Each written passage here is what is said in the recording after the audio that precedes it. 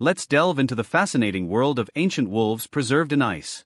In the icy realms of Siberia and Yukon, scientists have unearthed mummified wolf remains that defy time.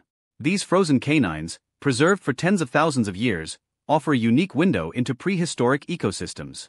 Let's explore their stories.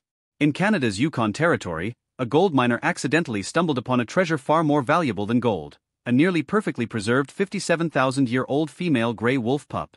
Named Zur by the local Tr'ondëk Hwëch'in people, meaning a wolf heir in their language, she is the most complete wolf mummy ever found. Zur's body lay frozen in permafrost, shielded from air and moisture, allowing scientists to reconstruct her life. X rays revealed that Zur was around six or seven weeks old when she died. Geochemical signatures on her teeth indicated a diet primarily of fish and aquatic critters. Despite her untimely demise, Zur provides a glimpse into ancient wolf populations that no longer exist in the Yukon area. In Yakutia, eastern Russia, an adult male wolf emerged from the permafrost after 44,000 years. His fur, bones, organs, and even teeth remained astonishingly intact. This discovery sheds light on the ancient wolves that once roamed Siberia. DNA analysis links him to an ancestral wolf population originating in Siberia, Russia, and Alaska. His population no longer exists in the Yukon, suggesting they were replaced by another group.